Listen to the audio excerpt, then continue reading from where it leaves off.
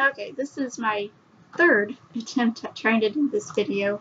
Um, first time I got, well, no, this is actually my fourth attempt. First time I got interrupted. Second time I didn't get as much information as I wanted into it. Third time I got interrupted again, so hopefully this one goes right. Um, sorry it's been so long since my last video. I know it's been a couple months at least since September, I think was the last time I uploaded a video. Um, yeah, some things have been happening. Yeah, okay stuff, I guess. First time something happened was actually, um, I tried to upload a video for my, well, of my uh, Disney College Program phone interview and it just won't upload. I don't know why. I keep trying, keep trying, keep trying. It doesn't work. So there's that.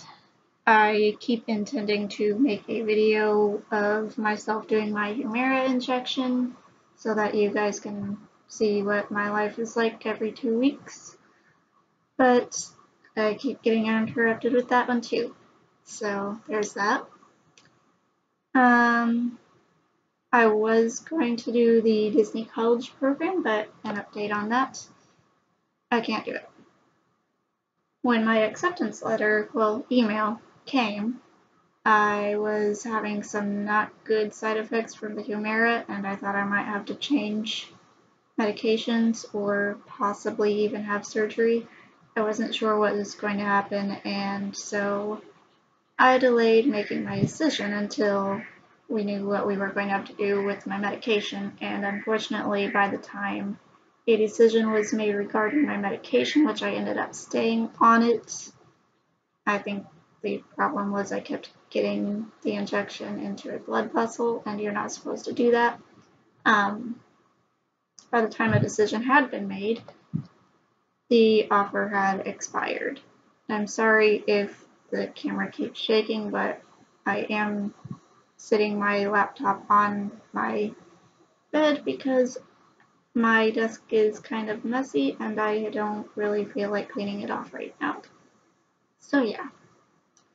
Um, anyway, so the door for my Disney College program of spring of 2017 is not going to happen. So there's that. I was accepted for food and beverage, quick service food and beverage, the same role I had last time and I'm obviously, like I said, not going to do it. So, to keep my mind off of my depression, I guess you could say, well, not really depression, but just being upset and just not happy about not being able to do the program, I have been reading a lot and not school reading either, so I'm kind of starting to get a little bit behind, which isn't too good considering this is my last semester. God willing, I graduate in December, and my busyness will not be related to school, it'll be related to work. Hopefully, I really enjoy my work. I'm enjoying my classes for what I'm going to school for, so hopefully, I'll enjoy what I'm actually doing once I'm actually in the work field. Um, I don't know how many books I have on my bookshelf. I'm going to try and give you guys a little view of my bookshelf. Hang on. I gotta, like, take my laptop over here. So, this is my bookshelf.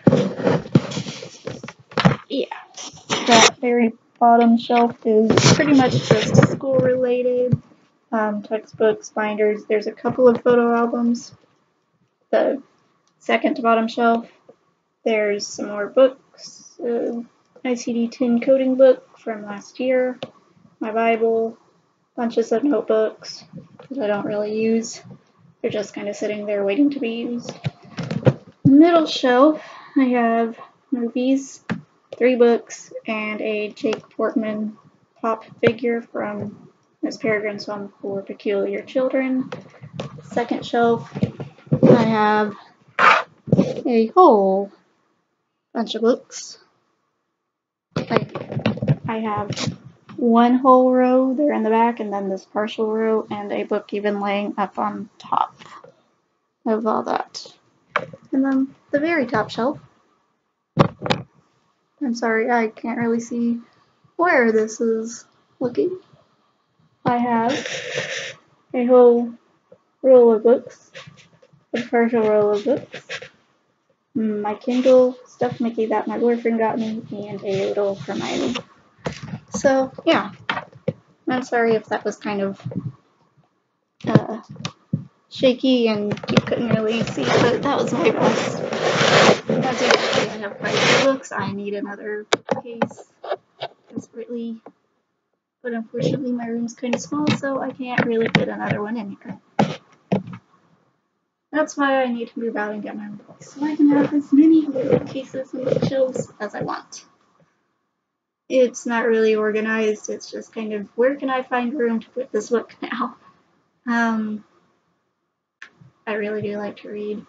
On my really sick days, that's what I do when I'm feeling down, I read.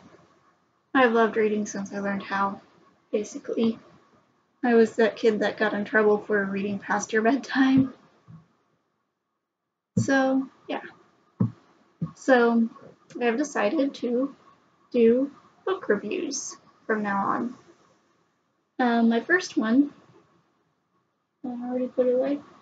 I gotta go get it again. Sorry. I will be right back.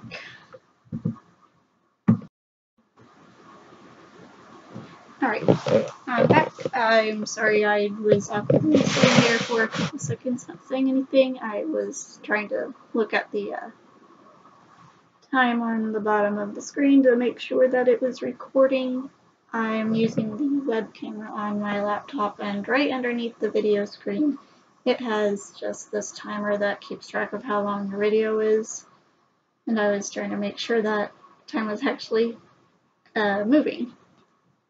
So my first book review on here is Outlander.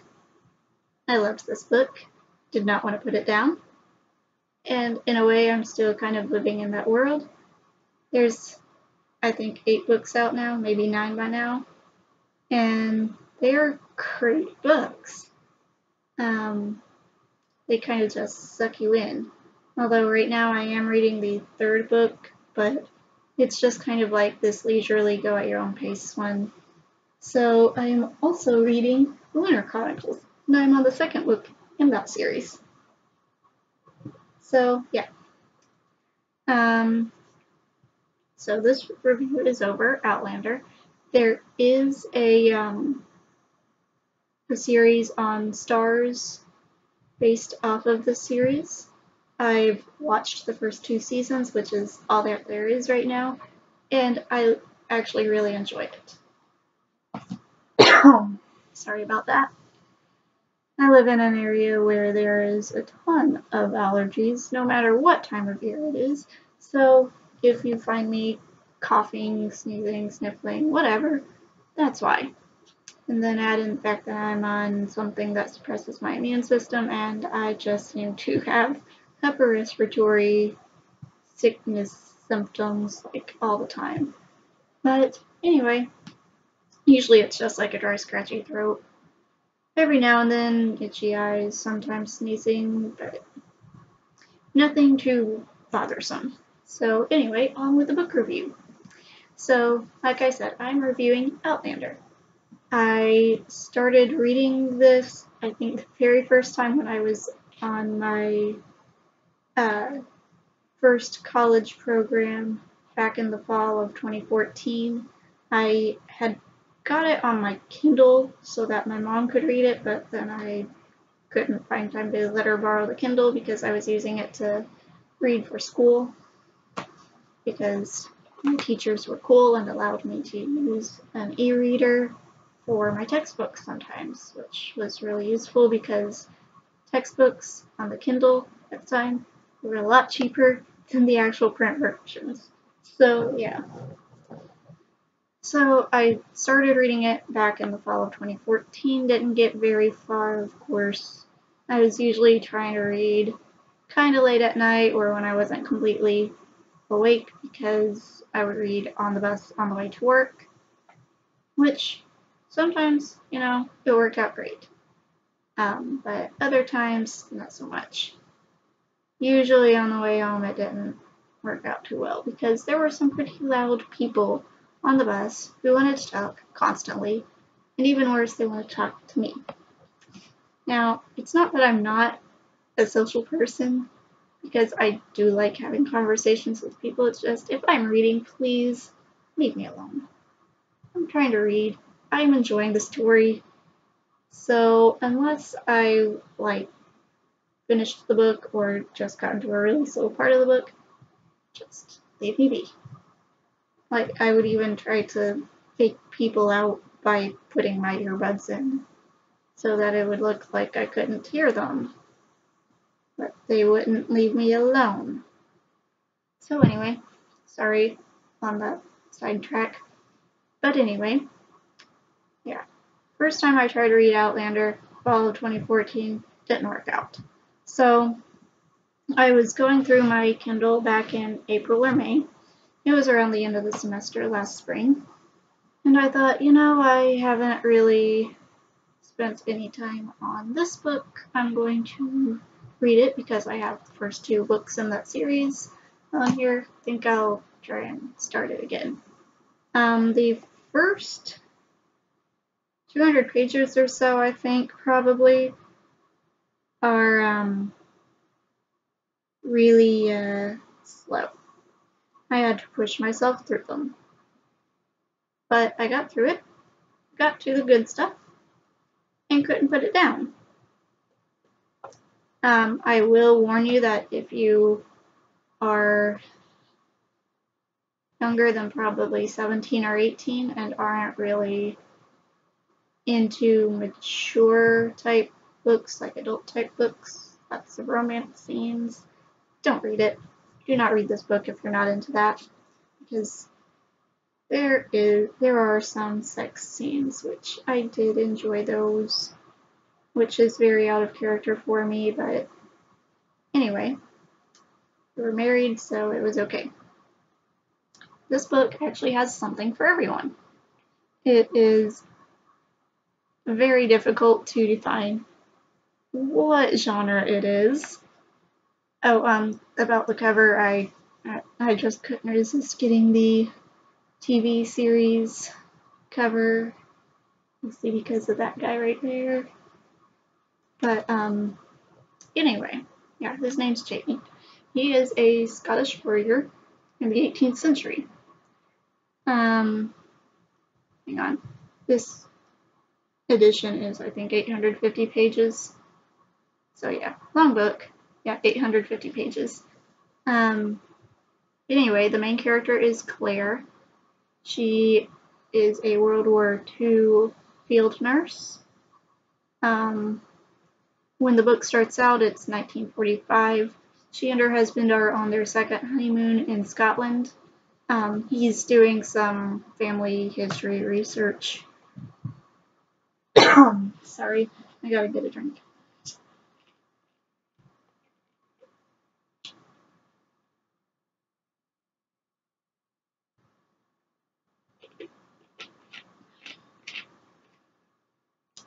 Okay, sorry about that. But my throat is kind of just dry and scratchy. It's fall allergy season, so I'm not a fan of allergy medicine. It always makes me sleepy, even the daytime non-drowsy stuff. But anyway, main character is Claire Randall. She and her husband are on their second honeymoon in Scotland. Um, they had been separated from each other for the duration of the war. Frank her husband was in the military and she went on to be an army nurse. So when the war was over, they decided to go to Scotland and kind of try and reconnect, rekindle their marriage. And sometime along the way, she gets, well, she ends up in 18th century Scotland in the year of 1743. Um, like I said, kind of uh, difficult to um, define what genre it is. There's romance, there's some really funny parts, so there's some comedy, um, fantasy. It's obviously an, advan- an adventure going between the 1940s and the 1740s. 200 year difference there, so yeah. Um, I really enjoyed Claire. She is a very strong woman, headstrong for sure, and not afraid to speak her mind. Um, she ends up marrying Jamie. His full name, I think, is James Alexander Malcolm Mackenzie Fraser. Long name. I think I got the order right. I know his first name is James, so his last name is Fraser. And Claire ends up marrying him in the 18th century um, to basically become a Scottish citizen. And if you read it, you will understand why. Um, but she ends up falling in love with Jamie, but not until after they're married. Um, trying to think. What have I missed? Well, I've talked about Claire, I might as well talk about James. Or Jamie. I really liked him, and not because that's my boyfriend's name. Which, yes, James is my boyfriend's name, and I do call him Jamie. But that's beside the point. Um, Jamie Fraser is a Scottish warrior. Um, he's kind of well, basically what most women, I think, would want. Um, he can be very sweet and very kind and gentle. but um, also being raised in the 18th century, his ideals of how a husband should treat his wife are different from what we think. But um, he eventually uh, comes to terms with how Claire thinks she should be treated in their marriage, and it somehow works. Um,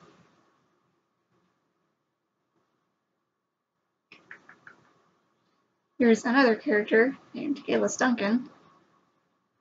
Um, she's not completely right in the head, for lack of a better word. I don't want to say crazy because, well, I'm not exactly sure that's the right word for it, but yeah, she's kind of an oddball. I did enjoy her though. I did get I did enjoy getting to know Geillis and all her twisted plotting. But yeah, um, then there's Jamie's uncle's um, Dougal. And I'm suddenly blanking on the other one's name. Colum. Jamie's uncles Colum and Dougal. Colum is the laird of the Mackenzie clan at Castle Leoch, which is where Claire takes refuge when she first gets to the 18th century. And then Dougal is the Warlord, I think, is the uh, title he may have been given. Um, anyway, he leads their raids and goes out and collects taxes and rents and stuff like that for the clan because Colum actually cannot. He has some kind of um, degenerative bone disease where it, he cannot physically go out and ride a horse as often as he would need to in order to do the stuff that Dougal does. So um, there's that. So I think I've covered most of the characters. But yes, definitely it is a good book. Read it if you are good on um, if you enjoy the more adult kinds of books. The second one doesn't have as much of that. I will go ahead and let you in on that. The second one is very intriguing. I went right from reading the first one and right into Dragonfly and Ember, or Dragonfly in Amber, I mean. And yeah, like I spent a good month and a half, probably more like two, three months, um, getting through the first two and a half books. I'm a little more than halfway on the third one, but I'm taking kind of a little break. I've started the Lunar Chronicles, I read Ender's Game. Um, as you can see from my earlier little uh, tidbit on my bookshelves, I have a lot of books to get through. Most of what is on my bookshelf I have not read, if that tells you anything. I will probably die with a list of 20 to 30 books that I need to read. So yeah, my to be read list just keeps getting longer and longer every time I go to the bookstore, and my boyfriend loves to take me to the bookstore. I don't know why. I think he knows it makes me happy just to go in there and browse, and I tend to end up coming out with something. I told him if you doubt what to get me for my birthday or Christmas or Valentine's Day, gift card to the bookstore is always good. Um, maybe eventually I'll end up with a video camera so I can stop using the webcam on my laptop. I don't know. I could also really use some um, video editing software, but I don't have the money for that. So it's basically whatever I'm able to get on my laptop and not have to do any editing. So this is why it took me four attempts to get through this video to the extent that I needed to. Um, I cannot cut out anything right now, so it's whatever gets captured on my laptop is what ends up in the video. So if I keep getting interrupted, I will just keep trying to make the video until I end up getting what I want, or at least less of what I don't want. And so, yeah. Anyway, um, happy reading. I hope you enjoy Outlander. I know I did. I loved it. Read it. Enjoy it. I hope. And um, happy reading. Until next time. Bye.